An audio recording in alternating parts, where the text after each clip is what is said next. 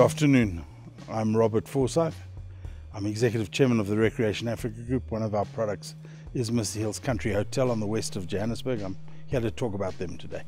Uh, Misty Hills is incredibly unique the, from the moment that you arrive. It's being a botanical garden, we've replaced most of the vegetation that was alien. It's all indigenous now, it's full of lovely bird life. Uh, great water features, uh, and every corner there's something different.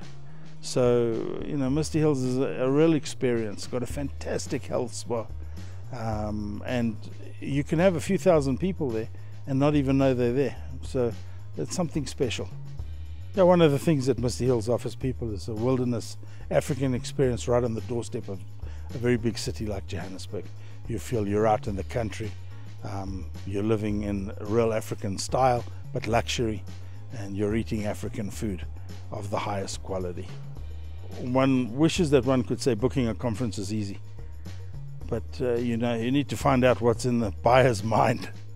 We have a very good sales office, and we endeavour, you know, to to try and discover what sort of event you want, because it can almost range from anything and you know we like to to be able to give you what it is that you want